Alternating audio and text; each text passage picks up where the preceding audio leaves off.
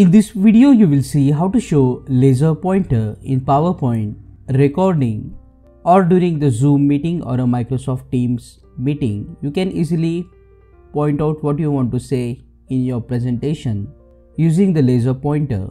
To convert mouse pointer to laser pointer, you just have to click on this small pencil icon and after clicking on this pencil icon, you will see the option of laser pointer just click on the option and now you will start to see this red laser pointer. And if you want to change the color of this laser pointer just right click on the screen and use your keyboard to go to the pointer option.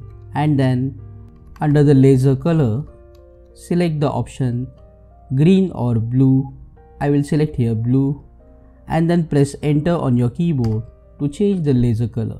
Now to go back to the cursor, you have to press escape key on your keyboard to get your mouse cursor back. Click on that like button, comment below and let me know if this video solved your problem.